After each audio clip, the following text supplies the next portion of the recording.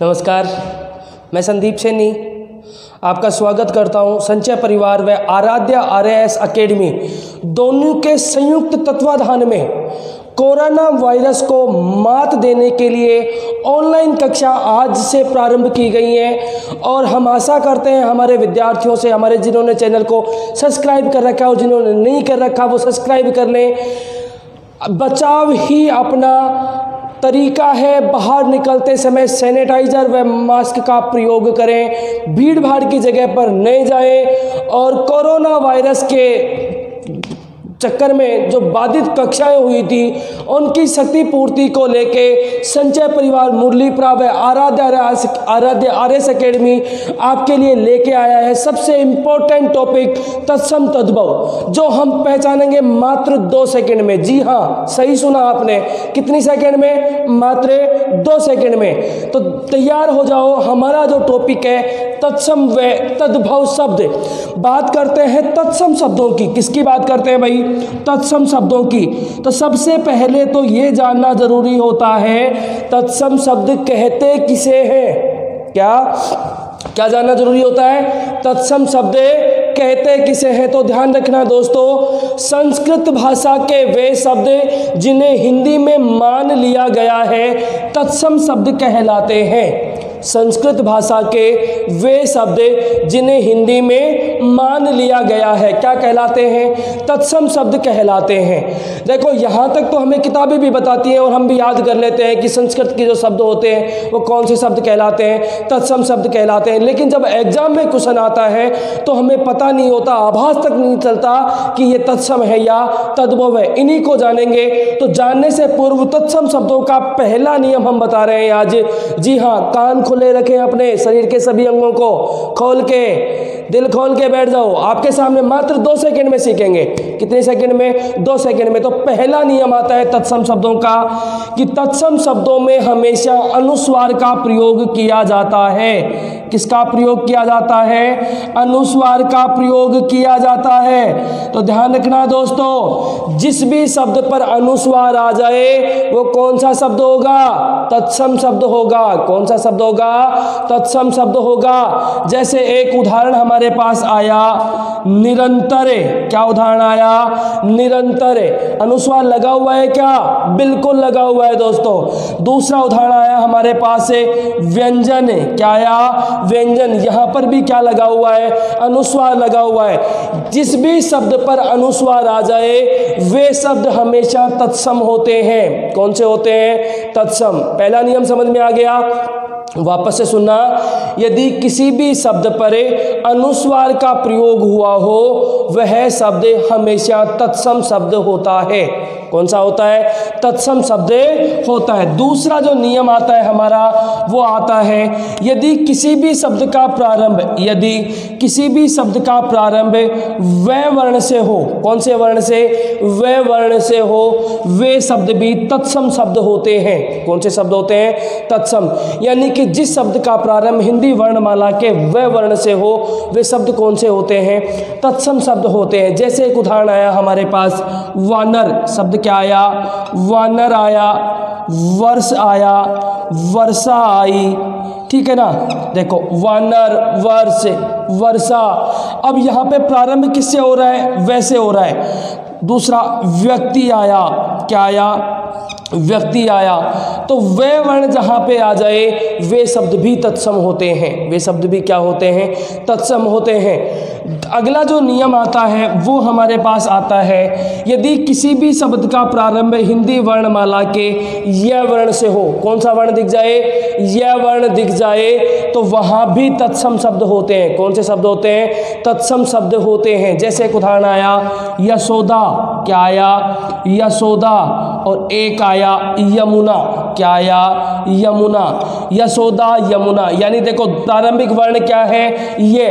और ये यदि प्रारंभिक वर्ण है तो कौन सा शब्द होगा? तत्सम शब्द होगा। कौन सा शब्द होगा? तत्सम शब्द होगा। समझ में आ गया? नंबर तीसरा, हमारा नियम आता है, यदि किसी भी शब्द में संयुक्त वर्णों का प्रयोग हो, कौन से वर्णों का? संयुक्त वर्णों का प्रयोग। संयुक्त वर्ण कौन कौन से होते हैं? क्षय, श्रेय, त्रय। और गे। सह सहत्र गे। श्रेय त्रय और गे का प्रयोग जब होता है तो वे शब्द भी कौन से होते हैं? तत्सम शब्द होते हैं। कौन से शब्द होते हैं? तत्सम शब्द होते हैं। जैसे एक उदाहरण आया, क्या आया? पक्षी। क्या आया? पक्षी। ठीक है, एक आया हमारे पास छत्र। क्या आया? छत्र। तो देखो, और एक जैसे आया हमारे पास विज्ञान। क्या आया? विज्ञान। तो देखो, क्षेत्र और गे। संयुक्त वर्णों का प्रयोग जहाँ भी आपको नज़र आ जाए, एक सबसे इंपॉर्टेंट उदाहरण यहाँ से होता है से का वो होता है अश्रु। क्या होता है? अश्रु तो संयुक्त वर्णों का प्रयोग हमेशा तत्सम शब्दों में होता है। कौन से शब्दों में होता है दोस्तों? तत्सम शब्दों में होता है। अगला जो नियम आता है, वो नियम ये कहता है, यदि किसी भी शब्द में, यदि किसी भी शब्द में क्या आ जाए? हलंत वर्ण आ जाए। कौन सा वर्ण आ जाए? हलंत वर्ण आ जाए। तो वे शब्द भी तत्सम होते हैं। वे शब्द भी क्या होते हैं? तत्सम होते हैं। जैसे उदाहरण आया हमारे पास दुग्ध क्या आया दुग्ध? देखो यहाँ पे, गे कैसा है? हलंत, आधा है। दुग्ध आया अग्नि आई, क्या आई? अग्नि। यहाँ पर भी देखो, गे कैसा आ रहा है? आधा। तो हलंत वर्णों में हमेशा कौन सा होगा? तत्सम होते हैं। कौन से होते हैं? तत्सम शब्द होते हैं। अगला जो नियम होता है, वो नियम होता है नियम नंबर पाँच। यदि किसी भी शब्द में अणे का प्रयोग किया गया हो, किसका प्रयोग? अणे का प्रयोग।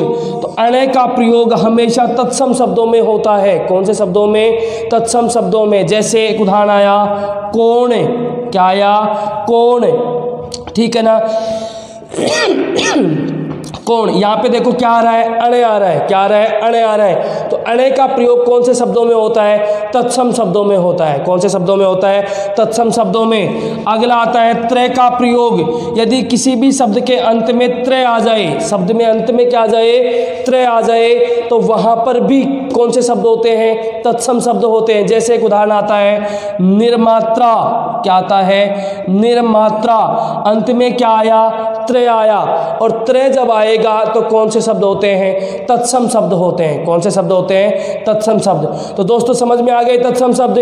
नंबर दूसरा जो हमारा होता है, वो होते हैं तद्भव शब्द। कौन से शब्द कहलाते हैं? तद्भव शब्द। तो तद्भव शब्द किसे कहते हैं दोस्तों? सबसे पहले यही जानना ज़रूरी होगा कि तत्सम शब्द किसे कहते हैं? तो ध्यान रखना संस्कृत भाषा के वे शब्द, संस्कृत भाषा के वे शब्द जिनका हिंदी में अनुवाद कर लिया। यानी संस्कृत के जो शब्द थे, जब हमें आवश्यकता पड़ी तो हमने किस किसमें अनुवाद कर लिया? हिंदी में अनुवाद कर लिया। वे शब्द ही तद्भव शब्द कहलाते हैं। कौन से शब्द कहलाते हैं? तद्भव शब्द कहलाते हैं।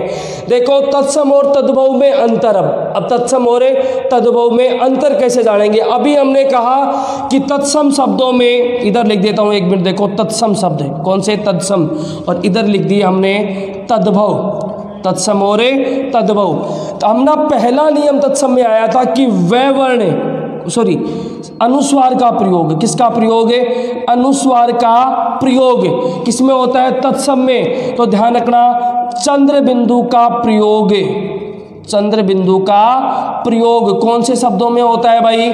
तद्भव शब्दों में। एक में अनुस्वार आएगा, एक में चंद्र बिंदु आएगी। जैसे इधर तो हमने बताया था, व हमने बताया था इधर एक तो व्यंजन, एक तो क्या बताया था? व्यंजन, और एक बताया था निरंतर।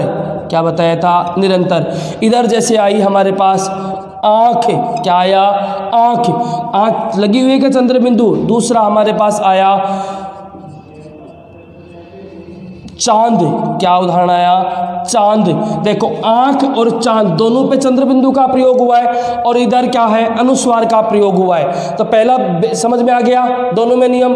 एक में अनुस्वार आएगा, एक में चंद्र बिंदु अनुस्वार तत्सम चंद्र बिंदु तद्भव। दूसरा जो आता है, वो आता है हमारे पास। हमने कहा था कि वर्ण से प्रारंभ होने वाले शब्द कौन से होते हैं? तत्सम। तो ध्यान रखना ब वर्ण से। कौन से वर्ण से? ब। ब बकरी। यानी बे वर्ण से जो वर्ण प्रारंभ होंगे, वो तद्भव होंगे। कौन से होंगे? तद्भव। जैसे एक उदाहरण आया, वानर और एक आया वर्ष और एक आया वर्षा। ठीक है? वानर वर्ष ओरे वर्षा। तो वानर का तद्भव बनता है बंदर। क्या बनता है? बंदर। वर्ष का बनता है बरस। क्या बनता है? बरस। और वर्षा का बनता है बरखा। वर्षा का क्या बनता है? बरखा। तो वे वर्ण से प्रारंभ होने वाले तत्सम और वे वर्ण से प्रारंभ होने वाले तद्भव शब्द कहलाते हैं। समझ में आ गया? अगला नियम था हमारा कि यदि किसी भी शब्द का प्रारंभ यह वर्ण से हो, कौन से वर्ण से? यह वर्ण से तो वो कौन से होते हैं? तत्सम। जैसे यशोधा, और क्या आया था? यमुना, यशोधा और यमुना। तो ध्यान रखना दोस्तों यह वर्ण से प्रारंभ होगा तो तत्सम, और यदि किसी शब्द का प्रारंभ हिंदी वर्णमाला के जय वर्ण से हो, कौन से वर्ण से? जय वर्ण से हो तो वे तद्भव होते हैं। वे कौन से होते हैं? तद्भव होते हैं। तो जैसे यशोदा का तद्भव बनता है, जसोदा, क्या बनता है? जसोदा। क्या बनता है? जसोदा। और यमुना का बनता है, जमुना। यमुना का क्या बनता है? जमुना। यहाँ पे समझ में आ रही है ना? ये तत्सम, जय, तद्भव। यशोदा और जसोदा। यशोदा और जसोदा। जैसे उदाहरण आता था ना जसोमत मैया मोही दाऊ बोध खिजायो, मैया मोही कहे, तू जसुमती, तू तो मोल को लीनू, तू जसुमती कबे जायो? जसुमती। और एक आता है, यशोमत। जसोमत और यशोमत। तो यह वर्ण से प्रारंभ होने वाले, तत्सम और जय वर्ण से प्रारंभ होने वाले तद्भव शब्द कहलाते हैं। समझ में आ गया? अगला हमारे पास आया नियम था कि अणे अणे आएगा तो तत्सम और ने आएगा तो तद्भव। अणे का प्रयोग तत्सम में होता है और ने का प्रयोग तद्भव में होता है। जैसे कि एग्ज़ाम्पल आया, कोण, क्या आया था? कोण, ठीक है ना? या कह सकते हैं कोणा, या क्या कह सकते हैं इसको? कोणा। तो इधर क्या बनेगा? कोना क्या बनेगा? कोना कोणा और कोण। ठीक है ना? तो अणे तत्सम और ने तद्भव। अणे तत्सम और ने तद्भव। दूसरा अगला देखो त्रय का प्रयोग हमेशा तत्सम शब्दों में होता है, जबकि तय का प्रयोग हमेशा किसमें होता है? तद्भव शब्दों में। त्रय तत्सम तय तद्भव जैसे एक अभी बताया था, हमने एक उदाहरण आया था हमारे पास निर्मात्रा क्या आया था? निर्मात्रा तो यहाँ पर क्या बनता है? निर्माता। क्या बनता है? निर्माता। तो त्रय और तय त्रय में हमेशा तत्सम और तय में हमेशा तद्भव शब्द। तो दोस्तों, ये थी हमारे तत्सम और तद्भव को पहचानने की ट्रिक। फिर मिलेंगे एक नए टॉपिक के साथ। तब तक जय हिंद, जय भारत। स्वस्थ रहें, खुश रहें, खुशहाल रहें। धन्यवाद।